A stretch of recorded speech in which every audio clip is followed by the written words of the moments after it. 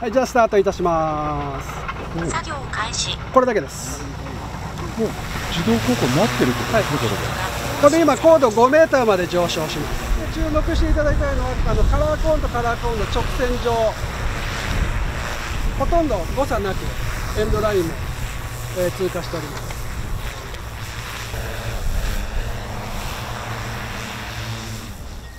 例えば今前2頭出します。でこれを最高センチ単位の精度でえー補助を計測していただくことによって、えー離陸から、えー補助散布終わりまして着陸までを完全自動航行できるような機体が出来上がりました。結構このぐらいの風でも安定して飛んでるのがよくご覧いただけると思うんですけど。あこれはもうすぐ使えるもんだと思いますし近年中にはあの導入に向けて進んできてればなというふうに思います